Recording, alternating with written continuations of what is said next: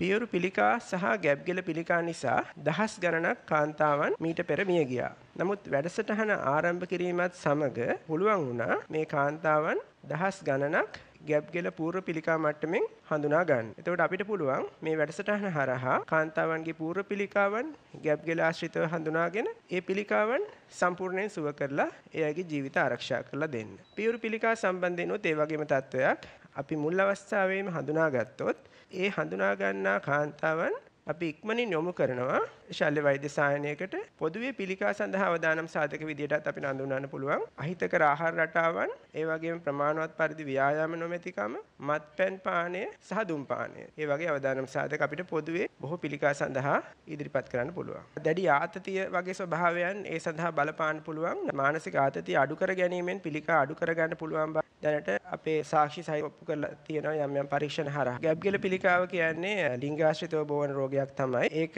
අපිට වළක්වා ගන්න පුළුවන් එක එන්නත් භාවිතයෙන්. තව එකක් අපි දන්නවා ලංකාවේ දරුවන්ට ගැහැණු දරුවන්ට පාසලේදී වයස අවුරුදු 10 11 වයස් කාණ්ඩවලදී එන්නත් දෙකක් මාත්‍රා දෙකක් ලබා දෙනවා. ගැබ්ගෙල පිළිකාව වළක්වන්නේ. ගැබ්ගෙල පිළිකාවක මුල් අවස්ථාවක් හඳුනා ගන්න වයස අවුරුදු 35 දී සහ 45 දී ගැබ්ගෙල ශ්‍රාව පටල පරීක්ෂා සිදු කරන සුවනාරි සායන හරහා. ඊට අමතරව අපි ප්‍රතිකාර සඳහා යොමු කරලා මුල් අවස්ථාවේ හඳුනා ගන්නා වූ පිළිකා සුව කරන්නත් අපි ක්‍රියාත්මක වෙනවා. රැකියාවක නියුතු කාන්තාවන් සඳහාත් අපි සායන පවත්වනවා. විශේෂයෙන්ම සෙනසුරාදා දිනයන්හි උදේවරුවල බොහෝ විට සෞඛ්‍ය වෛද්‍ය නිලධාරී කාර්යාලවල සුවනාරි සායන පවත්වනවා. එහෙමත් නැති අවස්ථාවල අපි ගොඩක් දුර ප්‍රදේශවල නිවෙස් ආශ්‍රිතව අපි මේ සායන ජංගම සායන ඉදිරි පවත්වනවා.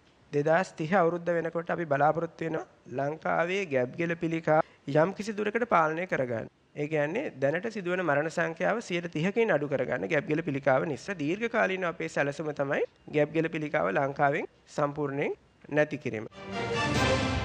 රටේ ලෝකෙ සිදුවන උණුසුම් පුව දැනගන්න සියත නිවස් YouTube channel එක අදම subscribe කරන්න.